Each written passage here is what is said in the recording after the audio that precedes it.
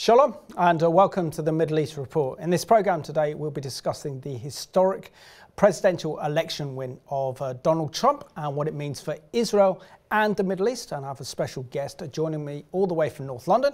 He's an investigative journalist and his name's uh, David Collier.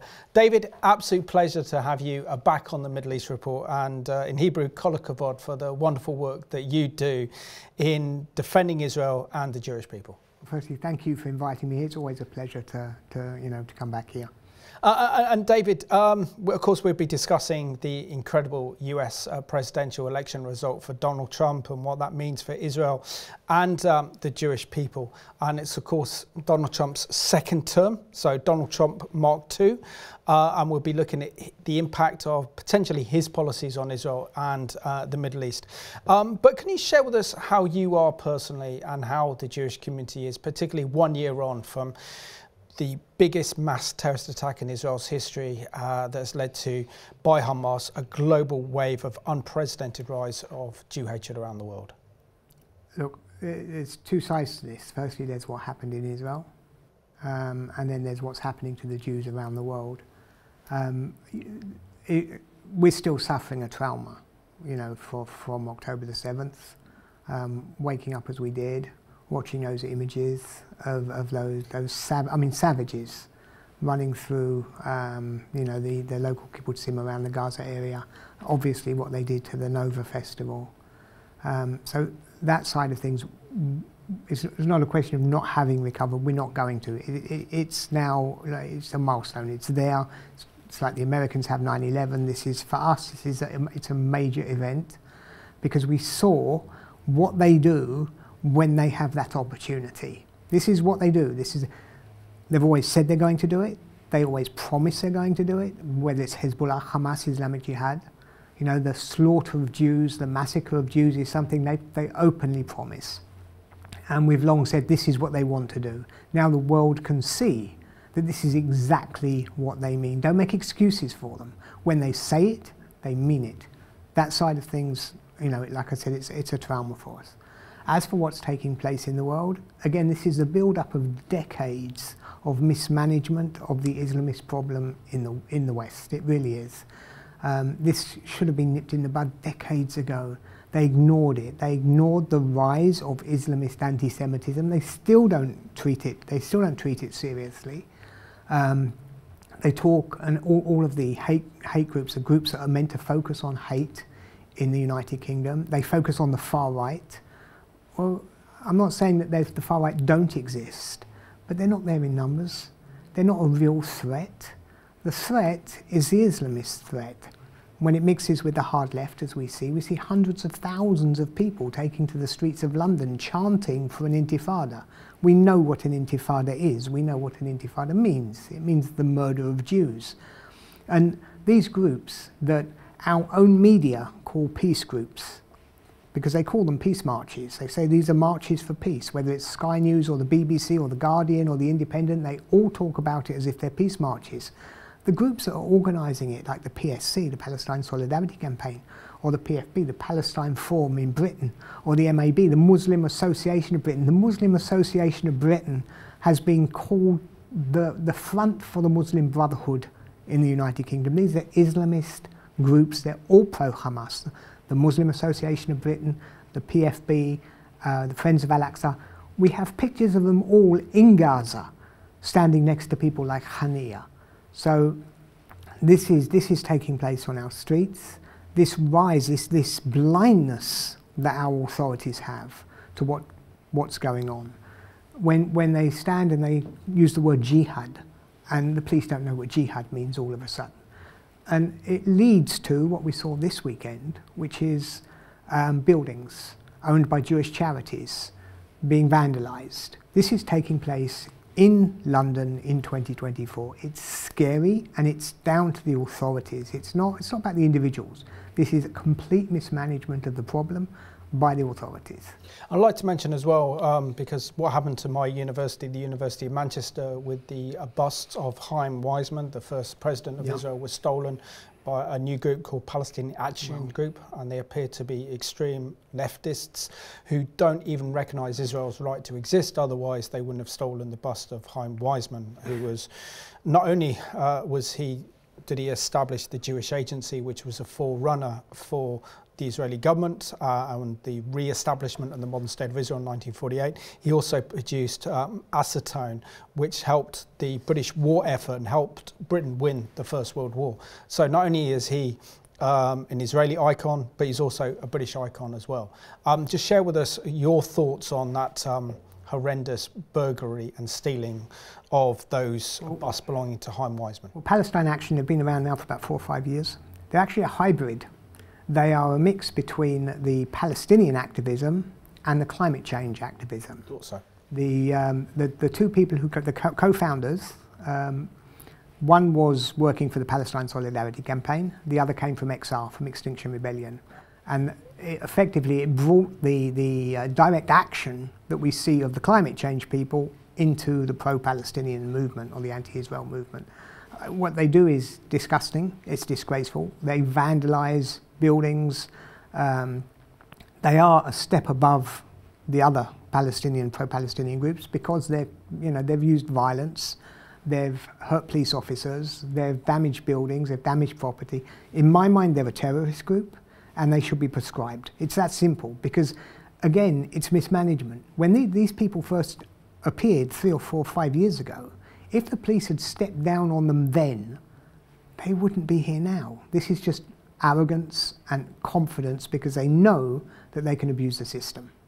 And what are your thoughts, uh, David, on the current uh, uh, Labour government that's now in power? And, and, we've seen this shift in policy direction between uh, the Conservative government that was very supportive of Israel to now a very hostile government, particularly our new Foreign Secretary, David Lammy, who's um, the first time that uh, Parliament was open from the summer recess after the election, he made a speech um, in which he called for an arms embargo on Israel, uh, reinstated British taxpayers' money to UNRWA, the United Nations Relief Works Agency, knowing the connection between UNRWA and Hamas and the fact that UNRWA gave uh, Hamas a few years ago 2.3 billion US dollars in cash.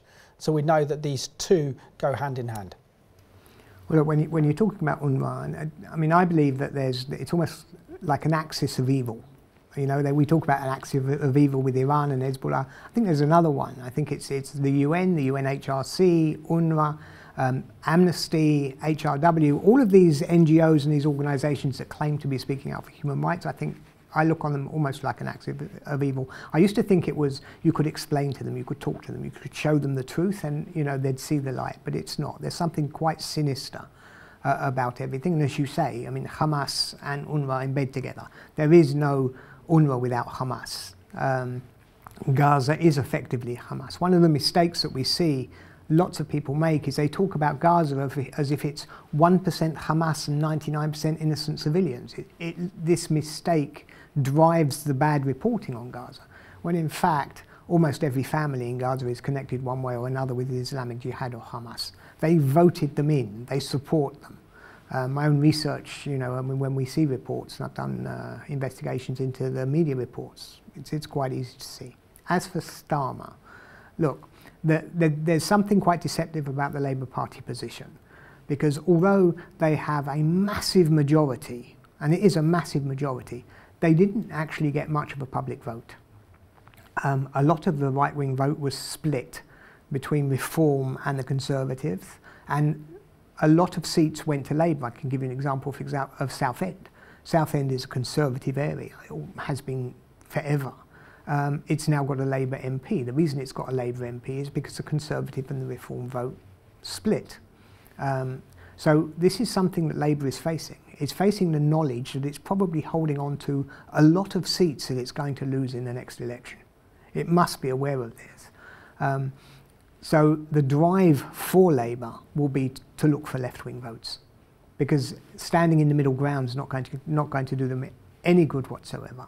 So Starmer must know, especially as we saw in the recent election, the rise of the group, the Muslim vote, you know, where we now have Islamist parties, Islamist candidates, the whole Islamist movement creating a dynamic around election time. So he must also be aware that those millions of, of Muslim votes um, are something he has to, to work towards. So I think it's hostile, and I think it would have been very hostile had it not been for the American election that just happened yesterday. Because I do believe that that is going to have taken the claws and the teeth out of Starmer on an international, on international issues. Absolutely. Uh, uh, and what do you make of um, Starmer really calling out uh, the Israeli Prime Minister Benjamin Netanyahu for uh, effectively introducing legislation that would essentially ban the work of UNRWA from operating inside Israel. And surely the international community, even um, the newly elected President Trump, when he's inaugurated as America's 47th president, will no doubt stop US funding to UNRWA. Look, firstly, yes, you would imagine so. He's, he's no fan of UNRWA. We know from his first term he's no fan of UNRWA. Um, UNRWA shouldn't be, um, I mean, no Western government should be funding UNRWA at all. Starmer's statements are naive, they're stupid, they're dangerous. Um, Israel is more than capable of looking after its own backyard. And the, the way that the West handles Israel, it's, it's almost as if, well, yes, they kind of want it to exist, but on the other hand, they only want it to exist on the terms where it's always under threat. Because you can't want Hamas to survive and want to fund UNRWA unless you want Israel to continue to have a terrorist problem. You want Hamas, any normal person would want Hamas driven out of Gaza completely for the benefit of the Palestinians as well as Absolutely. the Israelis. Um, so these kind of messages, this, this kind of return to the status quo, the return to the 6th of October, it has to be pushed. We have to push back at that all costs. We can't allow that to happen. Absolutely. So let's now see this excellent uh, uh, news report produced by the Israeli Foreign Ministry showing the complicity between UNRWA and Hamas. Imagine a UN agency meant for humanitarian aid infiltrated from within for years, Israel warned that Hamas had embedded itself deep within UNRWA, the UN agency responsible for education and aid in Gaza. On October 7th, this became undeniable. Israel revealed that UNRWA staff were not just complicit, but actively participated in Hamas's brutal attack on Israel. Schools and shelters intended for aid have been misused as hubs for terror. In July, Israel gave the UN a list of Hamas operatives working within UNRWA in Gaza, yet no action was taken. The shocking reality, operatives embedded in schools using UN facilities as shields. In response, Israeli lawmakers from across the political spectrum took action. With overwhelming consensus, they passed a new law barring UNRWA from operating within Israel and prohibiting Israeli agencies from cooperating with the organization. This law isn't about blocking aid, it's about ensuring humanitarian organizations uphold their mandate without risking innocent lives. Israel remains committed to helping Gazans in need, but we insist on doing so with trusted partners, organizations that actively reject terror. Israel stands firm. There's no room for terror in humanitarian aid.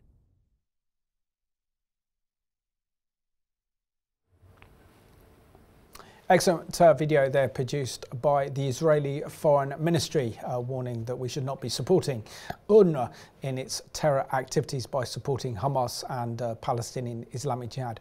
Um, last question, um, David, on, the UK government. Um, what is your response to the government's uh, role of, of confronting Jew hatred in this country because um, the whole of Keir Starmer's mandate effectively to be Prime Minister was to say that he's cleared up the Labour Party of Jeremy Corbyn, the old leadership, and we've now confronted the, the big issue that plagued Corbyn's leadership was one of Jew hatred and his failure to address it, or Corbyn actually being the problem itself. And he's saying, I've distanced myself from the past. This is a new leadership.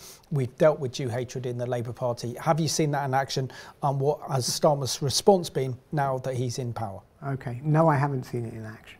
In fact, I've seen the opposite. It was something that was quite disappointing for me. Um, I mean, I, my, my pub public activism, because I'd, I'd obviously been doing it behind the scenes for a long time, my public activism was really started with the Corbyn years. And there were a lot of people that we would have considered allies because they were in the battle against Corbyn and they used anti Semitism almost like a weapon to bash Corbyn. This was factional fighting on, in, within the Labour Party. Um, the question is, did they really have an issue with anti Semitism or were they just trying to wrest the power back for their particular faction, the Blairite faction or the Starmerite faction? And my experience since 2019 is that all of those allies, or most of them, have disappeared. You know, as we were coming in for the election in 2024, I went to a event that wanted to tell me how good the Labour Party would be for British Jews. And I was listening to them and it, it was delusional. It really was delusional. Um, but these people, they didn't want to focus on anti-Semitism anymore. Effectively, the people who had been willing to focus on anti-Semitism up till 2019 because they were trying to get rid of Corbyn, after 2019 suddenly didn't want to hear anything. They just didn't want any problems because they wanted Starmer to win the election at all costs. That's one side of it. The second side, of course, is that these people can't say the word anti-Semitism without adding the word Islamophobia. They just can't. So they will fight anti-Semitism and Islamophobia. Right now, firstly, Islamophobia, in my mind, is a made-up word. I'm willing to use anti-Muslim bigotry, which does exist. Islamophobia is a dangerous word. But secondly, what do you do if the biggest problem that the Jews are, are actually facing is coming from the Islamist community? How can you possibly put anti-Semitism and Islamophobia together? You can't. So it, it's almost like a tick box exercise. It's deeply problematic. I don't believe the left really care about anti-Semitism at all, and they certainly, given the fact that they don't seem to be willing for Israel to exist without, you know, um, how, they how they can possibly say they're on our side or you know looking after the the, the, the Jewish people at all. It's insane. It really is. You cannot um, stand alongside the anti-Israel haters and claim you fight anti-Semitism. You can't do both. No, because we know with Islamophobia, it's designed to close down any debate, any investigation into claims of uh, Jew hatred by radical elements within the Islamic society in order to protect them themselves. Um, because we, I don't see mosques being having big security fences. I don't see uh, metal detectors uh, that you need to go through in order to enter a mosque. I don't see um, massive security guards outside a mosque or an Islamic centre.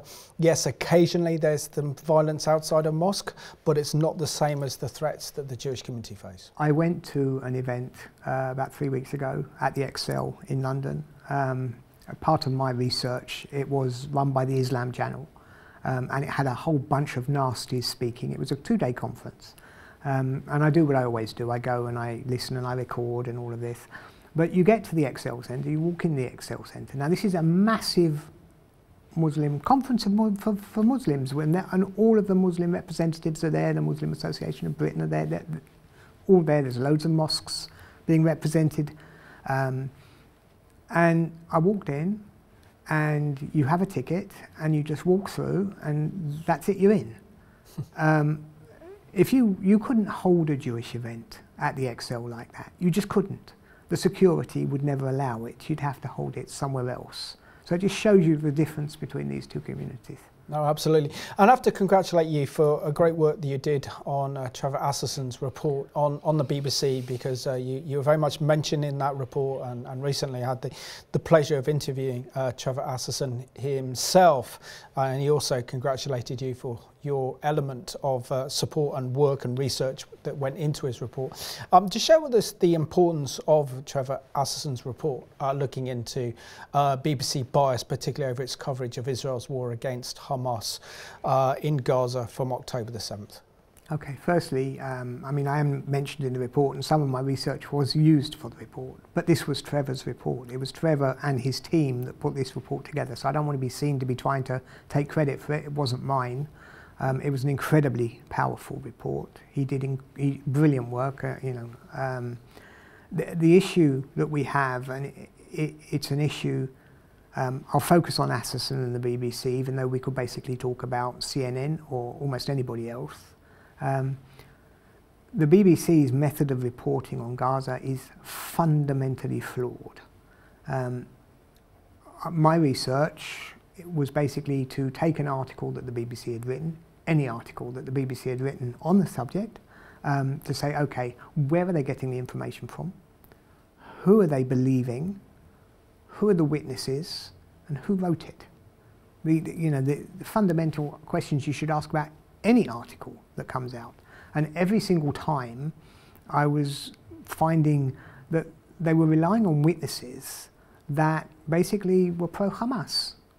I, you know, I, I found they'd mention a name, I'd go looking for the person, I'd find the person, I'd go through their timeline on social media, and I'd find they were support, openly supporting terrorism, openly supporting the slaughter of Jews, which means that the BBC are not even doing the basic due diligence, you know, of, of checking who it is that they're putting, giving a platform to. I mean, you could imagine the BBC interviewing someone from Manchester blindly they wouldn't do it. They would at least check to make sure that the person they were giving a platform to was decent, you know, had a decent ideology. Here they don't.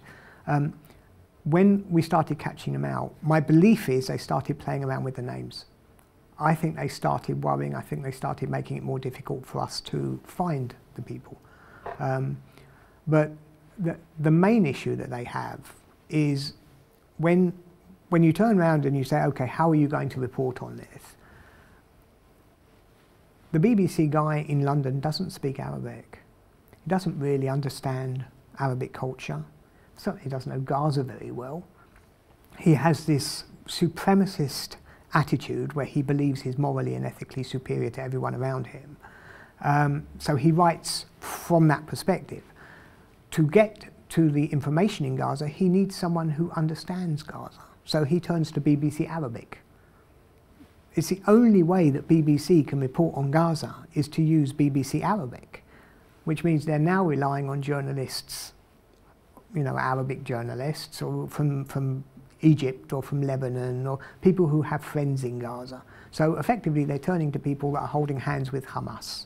And, and this creates a problem. It, it, the BBC have a major agency problem. They cannot report on Gaza without holding hands with people that are pro-Hamas. That's fascinating.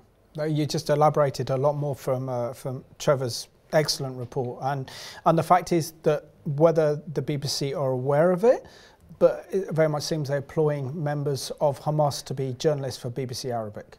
Well, I, it's it's about who's holding hands with who. I don't believe that the actual BBC Arabic person is a member of Hamas, but I don't think they're anti-Hamas. So when they go, for example, they need to find someone to talk to. Um, how are they going to do it? Well, it's runners and fixers, you know, and these runners and fixers are going to be, yes, they're going to be agents of Hamas, and they're going to give you someone to talk to that basically is Hamas. And the Hamas PR are going to clean him up before they put him on television. So all that happens is it turns not just the BBC, but every single Western media organisation into a propaganda arm of a prescribed terrorist group. Uh, which is detrimental not only for Israel's national security, but also for nations around the world, particularly Western nations, to support Israel. And this is, of course, the the uh, the weakest part of our democracy is public opinion, and that's exactly what they want to do through the media. Um, talking about uh, the the other side of the Atlantic now, which has been uh, an historic week for Donald Trump. Um, not only has he won the U.S. presidential elections, and uh, anyone watching our mainstream media thought that this was uh, Kamala Harris was going to be uh, the next president, the 47th president. Um, so not only has he won the US presidential election, he's uh, also won the popular vote. Uh, he's now maintaining, he's now won the Senate and also Congress, and now talking about how he will have the opportunity then to put uh, judges into the Supreme Court as well. And uh, effectively, we have the most powerful president um, in, in decades. Uh, share with us uh, your thoughts on this stunning presidential election victory of Donald Trump and the Republicans. Firstly, you just asked me a question about the BBC, and now you're talking about the fact that we're all shocked by the fact that Donald Trump has just walked basically a landslide um, because our media has been telling us the opposite for several months. Um, it's quite interesting. I'm not a betting man, I'm not a betting man at all, but I've been following the gambling odds because I, I tend to believe that they tell you something that the media aren't necessarily telling you. So Trump has been the favourite and growing as a favourite for several months now. So they weren't surprised. The bookmakers were not surprised that Trump won. And again, I'm not a betting man, it's just a way of, for me to get information. Um, the media, however, have been desperately going out of their way to manipulate the information that's coming through, whether it's by trying to maintain motivation on the left, you know, as, oh, we can still win this, we're going to win this, you know, because people don't like backing a loser. So maybe they were worried, so maybe they're trying to bolster support. But whatever the reason, what the media are doing is they're destroying themselves. Because the people, you can see from the rise of alternative media sources, people have had enough. Nobody, I don't believe a single word. Not, and I, remember, I, I do this for a job. I research what the media says. I know the way they work. I know how bad it is. I would not believe a single word that the mainstream media would tell me about anything.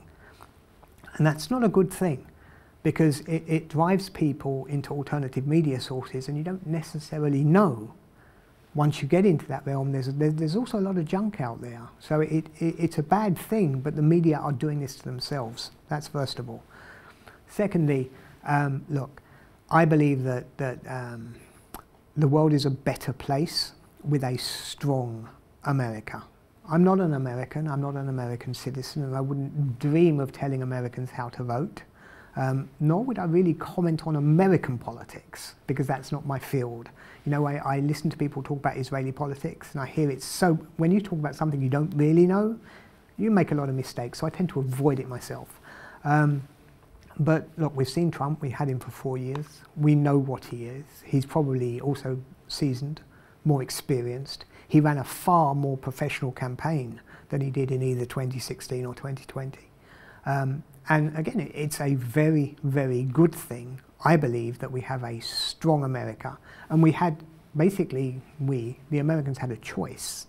The Americans either had Trump or Kamala or Harris. And I'm very pleased that the Americans went for Trump. But isn't one of the biggest failings of the uh, previous administration, the Biden administration, is the fact that they didn't know how to use American power? In other words, they did not back up American diplomacy with military power. And this is something that Trump will do, even though he's talked about how he doesn't want uh, wars. He, he wants conflicts to end. He's kind of proud of his previous record of there being no major wars during his uh, term in office. And he obviously would like to keep it that way because he's uh, wanting to make America rich and, uh, uh, and also prosperous. And of course, wars cost a lot of money uh, and they drain the nation's resources. Um, but the fact is that Biden never ever backed up American diplomacy with its military might, uh, and America was seen as weak under his leadership. How do you think that um, Trump will transform America's position on the world stage? Because I think, firstly, I think people are scared of him, and I think that's really important. Because, like as I said, I think uh, the world needs a strong America. I think you're right. I think I think that um, the Biden administration was perceived as weak. I think generally the the left, and not just the Biden administration, have a huge identity crisis. I, I don't think they, they know what they are anymore. I think the fact that um, more working class people are voting, you know, for Trump or for the Conservatives or for reform is a sign that the, the, the left have become this elitist, you know, they're almost post-grad, postgraduates in dealing with student politics, talking to other elitists, and that, that they have the, the same supremacist attitude that runs through the core of organisa media organisations like the BBC or the Guardian. You know, it, it, it's all part of the same mindset. Um, and yes, they're inherently weak and unable to back up. It's, for them, it's all words. Everything can be solved through diplomacy. When it actually comes down to the nitty gritty of the actual fist that you need sometimes to back yourself up, they, they don't have it. Absolutely. And um, share with us uh, your thoughts of, of what uh, uh, a Trump presidency Mark II will mean for Israel. And we know that the Israeli Prime Minister is one of the first world leaders to actually congratulate uh, Donald Trump on his historic election win uh, on, uh, on Tuesday. Um, look, we, we don't yet know um, the full mindset of the new Trump administration. We have to see how it unfolds geopolitically, looking across the global stage, you know, whether it will remain more isolationist or whether he will, you know, um, do more on the international stage. But that really isn't the point. The point here is about American strength. America has to be seen to be strong. And I don't think there is anyone in the world that would view a Trump presidency as weak. And that's enough really is, because that changes everything. It changes the way that Iran is going to be looking at the situation, and the Houthis are going to be looking at the situation, and Hezbollah are going to be looking at the situation. Um, it's going to be changing the way that Mahmoud Abbas is going to be sitting in his little office worrying now about the next four years. Um, so the, the mere fact that he's won without him actually doing anything changes anything. And we know, look, we saw the last time what he managed to do with the Abraham Accords. Um, and we know Saudi are waiting in the wings. So there's a lot that can happen positively. But I, th- I think, not just for Israel, but for the entire world, um, being, and you know, a little bit crazy, having a president that you're not quite sure about is no bad thing. Absolutely. So let's have a look at this uh, excellent uh, CBN news report. And uh, this is the Israeli Prime Minister Benjamin Netanyahu congratulating uh, Donald Trump on his historic election victory this week. Netanyahu called the U.S. election a huge victory for President Trump and a quote, powerful recommitment to the great alliance between Israel and America.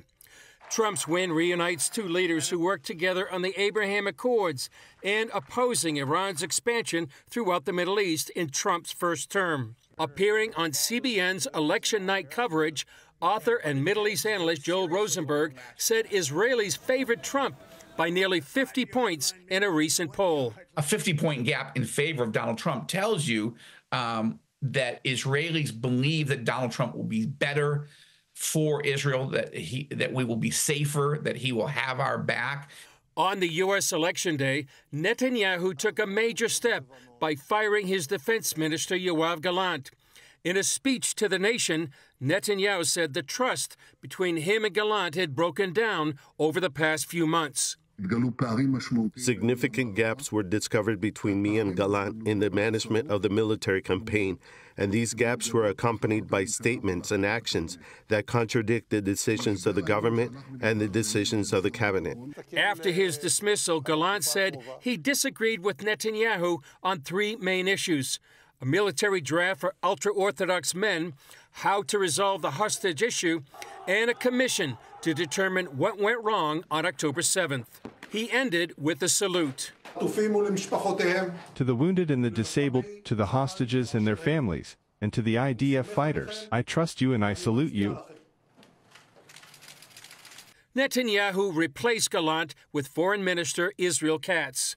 Israel Katz has already proven his abilities and his contribution to national security, also as foreign minister, as finance minister, as intelligence minister for five years. Former opposition member Gideon Sa'ar will become the new foreign minister. Chris Mitchell, CBN News, Jerusalem. There you go, some uh, internal politics there with uh, a new uh, Israeli uh, defense minister as well. Um, going back to Trump Mark 1, now uh, historically, it was uh, um, probably the most friendly US administration to Israel in uh, Israel's modern history. Um, the fact that we saw that the uh, US embassy moved from Tel Aviv to Jerusalem with American recognition of Israeli sovereignty over Jerusalem obviously had a profound impact. And of course, the recognition of Israel's right to the Golan Heights, that strategic area in the north of Israel that borders both Lebanon and Syria. There was also recognition for the first time of the uh, Jewish settlers in Judea and Samaria, the, which is the biblical heartland of Israel.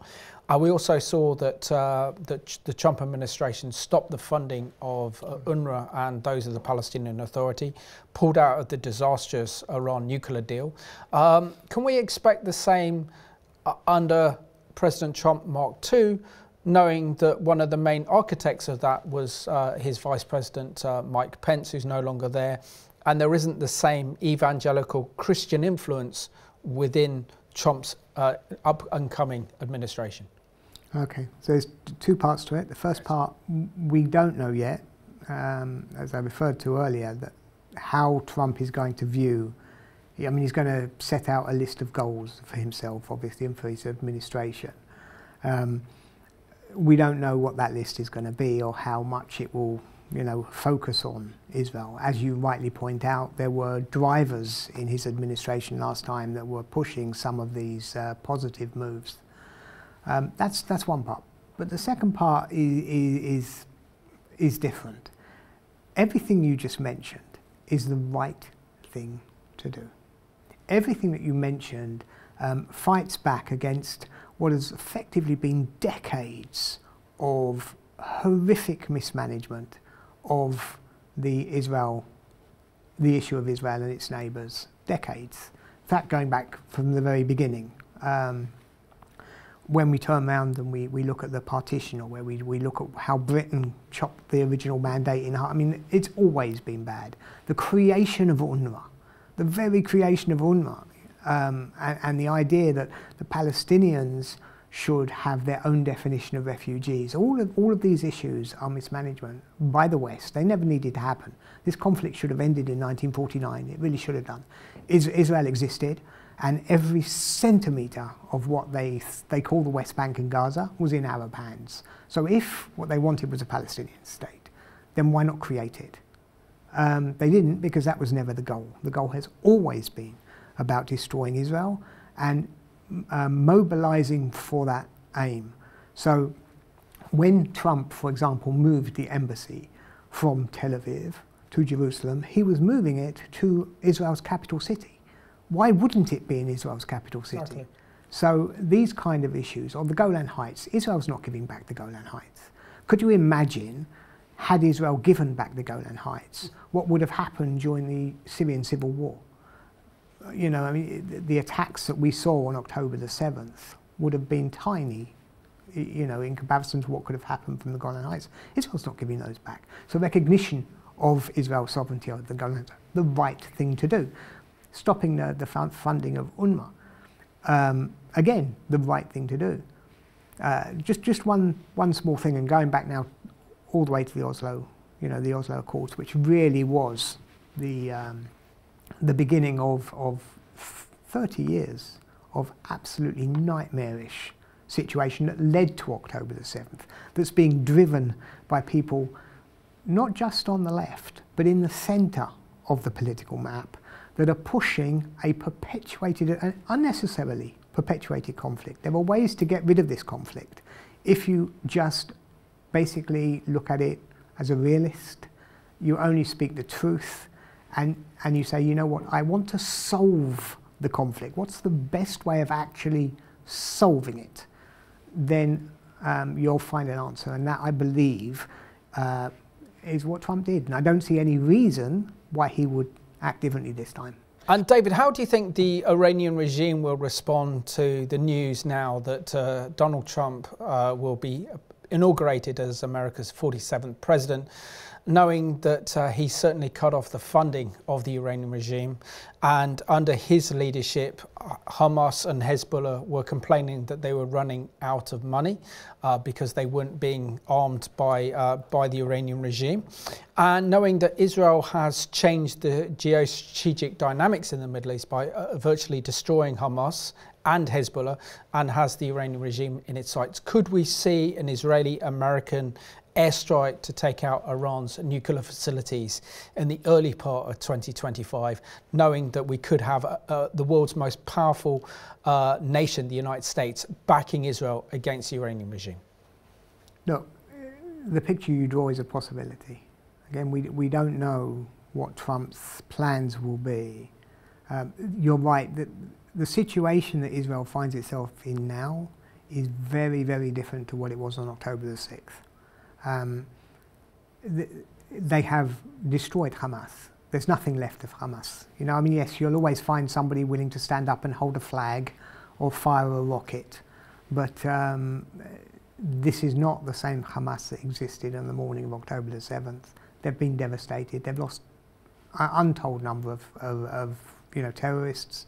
The, the um, tunnel network has been destroyed. They've got no rockets left, or very few of them. Um, so Hamas is done.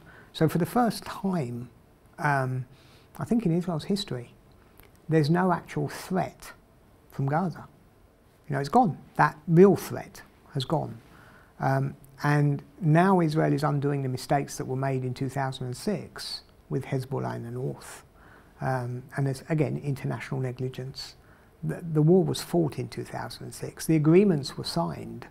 You know, the UN passed 1701. Hezbollah were meant to be pushed north of the Litani. The, the Hezbollah, the Lebanese army were meant to take control of the south. This was all meant to happen. And in a proper world, with decent governance, they, they, the UN would have stood up, uh, or NATO allies would have stood up and said, this is going to happen now. And again, it's not just about Israel. It's for the benefit of the Lebanese people. Absolutely. poor Lebanese people. What Hezbollah is dragging that country through again. Um, and the people to blame are the governments, the weak governments of the West that have allowed this to happen. So now we're talking about Iran. And the question is, will weak governance again make the same mistakes as have been made before? And no, I don't think they will. I think if the opportunity is there and if Iran wants the fight, I think it'll get it. But that's interesting, isn't it? Because um, now that uh, the election results are known, um, we have this interim period um, between when the Biden and uh, Harris administration are still in office in that transfer period until we go into the inauguration in January of 2025, uh, in which uh, Donald Trump will be given the intelligence briefings and everything else. Now, how will the Iranian regime work? They did say that they were going to retaliate against uh, Israel's latest strikes um, in Iran. Um, how will they respond now, knowing that Trump's in power, knowing they were dealing with a completely different geostrategic dynamics of Trump being in power rather than uh, what was expected uh, Kamala Harris being am, US president? I am willing to do many things, and I'm willing to try to analyze and guess many things. What I think is beyond me is putting myself in the mind of the mullahs of Iran. I, uh, you know, I, I have never understood, ever, why they, and not just the Iranian leadership, but, but why people like Hamas or Islamic Jihad or Hezbollah are willing to drag their own people through the dirt for decades over something that, that you know, I mean, Hamas, Gaza could have been a, almost a paradise. It really could have done. But this choice that these people make to destroy their own you know, environment, their own civilization, over what? Seriously, you look at what Hamas have done to the Gazans over the last year, the devastation. I don't understand it at all. It's not the way my mind works. It's not the way my heart works. You know. Well, couldn't you argue the same lines for Nazism? That the same evil ideology that was Nazism also brought oppression upon the German people because at the heart of this ideology was Jew hatred. And the same with Hamas, the same with the Iranian regime and, and, Hezbollah. Uh, it, it's a different ideology, but there is still that infusion of Islamism together with Nazism and this wanting to destroy the Jewish people and the state of Israel as their number one aim and objective, and they're willing to even destroy their own nation in order to achieve it. Firstly, absolutely, you can argue it. I, th- I think a key issue here is the difference is religion. You know, we are dealing with a religious and, and a really twisted religious ideology, which I think separates it from Nazism. I do, I do think there's a fundamental difference there. Um, but again, I, I, I think, coming back to the original question, if, if with Trump, um, there is a possibility that they'll take the opportunity because they, you can't keep going on about how you're not going to allow Iran to get nuclear capability and then allow them to get nuclear capability. And they will get it. So either you stop it or you accept the fact that they're going to get it. And could you imagine them having it now? Because that, that's, that's what you have to face. What would Iran do now if it already had a nuclear weapon? Be unstoppable, like be, be like China. Well, that you wouldn't be able to attack the Iranian regime and its leadership without the fear of uh, nuclear retaliation. Well, and, and again, I Iran is quite a big country. You know, one of the situations, one of the complicated situations at the moment is if Israel go, for example, after its, um, you know, fuel uh, facilities or anything like this. There are numerous ones throughout Iran. Israel had three. You know, Israel is a tiny country. If you're dealing with nuclear strikes, you know, there's, there, you don't need many. Uh, and, and Shane, I mean, if we look back to Trump Mark One, um, uh, uh, as my description of the first Trump administration, he completely changed U.S. foreign policy to the Middle East uh, and decided that the two strong players to back in the Middle East would be Israel and Saudi Arabia. And of course, we've seen that the Biden administration and prior to that, the Obama administration um, focused on the Iranian regime as the focal point of US foreign policy. They wanted to bolster the Iranian regime at the expense of Israel and, uh, of course, the Saudis. And the success of the Abraham Accords was the fact that the Saudis then instigated the signing of the Abraham Accords with the Gulf states, namely the United Arab Emirates and Bahrain. Uh, and now we have an opportunity now with the Trump administration coming in, with the Saudis thinking, could the Americans do the same? And so, therefore, if this is the scenario that's presented, then surely we're heading for a, a, peace agreement, a normalization agreement between the Saudis and the Israelis, particularly knowing that Israel now is the strong horse in the Middle East. Look, firstly, I, I don't understand what Obama um, was doing. I don't understand what Clinton was doing going back. You know, I, if we talk about the Oslo process again coming, because that's the starting point for, yes. for the disaster of the thing, I can't completely hate it. You know, I was uh, September the 13th, I was in Eilat, September the 13th, 1993, watching the handshake. I was in Eilat. Um, I managed a youth hostel there at the time, and we were watching it on this little screen. Um, we were watching it, and, and I was fuming inside because you could see the mistakes. You know, the, why bring this terrorist in? What, what kind of you know, idiocy, naivety to bring this terrorist in to legitimize um, Fatah and Arafat. And I was part of a crowd of about 20 or 30 people watching it, and everyone was clapping and cheering, and, and there was just one other person in that room who was sitting down there and a big, big frown on her face that she's now my wife. Oh, wow. so that's the day we met. Um, so I can't completely hate Oslo, but it, it did bring this 30 years of, of um, bad diplomacy mid, and, and effectively was driven by the same uh, political mindset that you're talking about of how they deal with the Middle East. This, this Shia Sunni, you know, which one to strengthen, whether to fight them, play them off against each other, and all of this, which has been uh, the dynamic of the Middle East for decades. Um, and it's done no good to anybody. Um, and yes, uh, we're in a situation now where the, the right noises have been coming from the UAE and Bahrain, well, actually from Saudi, because the UAE and Bahrain would never have agreed without Saudi, uh, you know, saying you go first. Um, and th there's a, a lot that can be done um, still. So yes, we could be seeing a Saudi agreement. Um, and what Israel has shown over the last year is at the end of the day, the only thing that matters is Israeli security. I don't think, and I think a fundamental mistake that Hamas made, and Hezbollah made, and Iran made, is that they thought Israel would buckle. They thought Israel would, would come to the negotiating table and pay that price of allowing Hamas to survive for the hostages. And, and Israel didn't. Israel said, no, not this time. This time you've done it. This time we're going to finish this job. And you know, Kol hakavod, like you've got to say to, to, to the Israeli government, fantastically done. They've played their hands so well. Um, because I don't think Hamas realized that Israel will keep fighting. And I think Hezbollah, when they started, I don't think Hezbollah realized it either. And well, I think that's the bigger miracle. Um, than uh, than Israel's uh, war against Hamas in Gaza. I mean, for example, I mean it was something out of a, a sci-fi movie, something out of uh, kind of a James Bond uh, a novel, uh, Ian Fleming's book.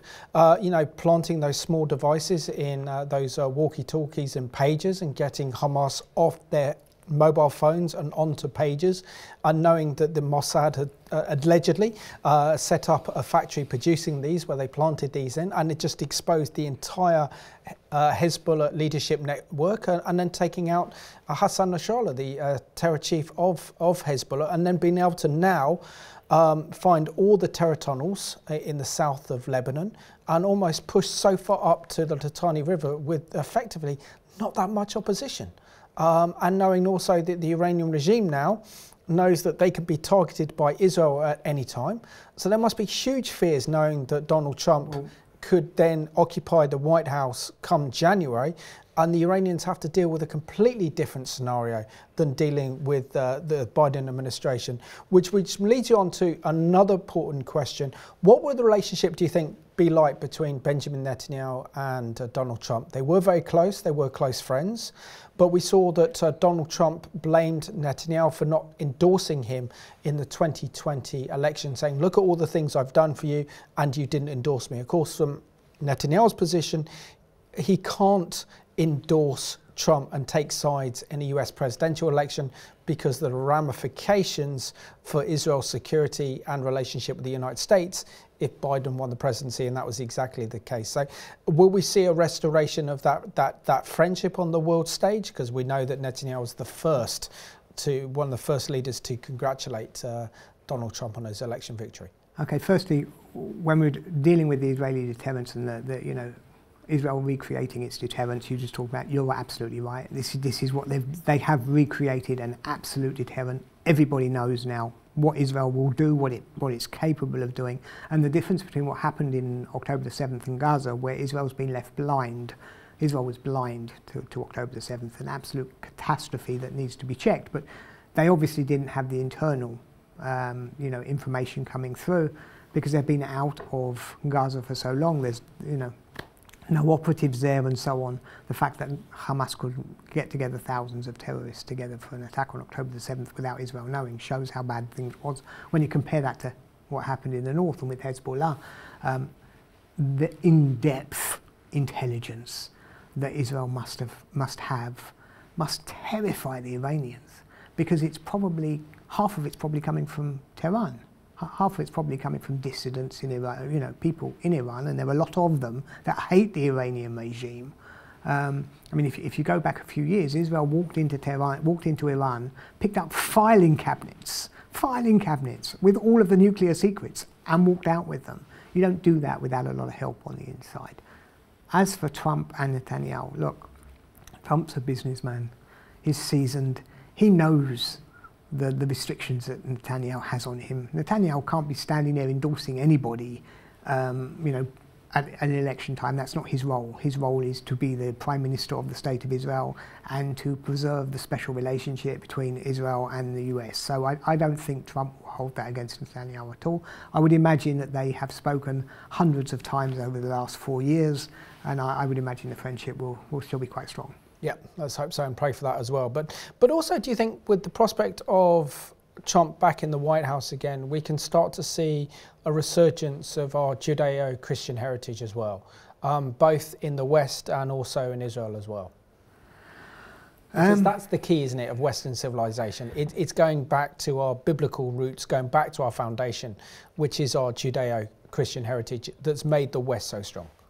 Well, the lack of it has made the West so weak. Exactly. That that absolutely for sure. You you know if you if you take uh, as as has happened, um, God out of the equation, which many people on the left have done, you're left searching for a replacement, and you know they've replaced it with these ridiculous woke you know identity rubbish that they all believe, and it's a religion. It is a religion. You know it's a religion because if you criticise it, you're no platform. If you criticize it, they get hurt. If you criti- you know they're treating it. it. It's their new religion. So the lack of that has certainly dented um, the strength of the West. And I, I think not so much in Europe. I don't. I, I, honestly don't know what's happening in Europe. I don't know. I, I'm quite pessimistic when it comes to Europe. I think the situation is so bad and so far gone. Um, I'm not saying there's no way home, but we're a long way from it. But the signs in the US and certainly in Israel are very different. I, Israel, um, is the, the Israeli um, community is becoming increasingly more religious. Uh, and it, it's been a trend now for uh, decades. And, and not just because the Orthodox people have more babies, um, but also generally the, the, there's a more conservative strand to Israeli politics. It drives the left absolutely nuts because they know they lost, they've, they've lost the argument completely. There is no um, traditional left wing as, as we knew it in the Oslo years. It's gone, doesn't exist in Israel at all anymore. Um, they hold on to tiny um, parts of the establishment, tiny parts of power. One of them, for example, in Israel is courts, which is why we saw the battle last year over the courts. This is what it is. It's this final battle. So in, in answer to your question, I look, um, I, I think that the, the, there is a growing religious strand in Israel.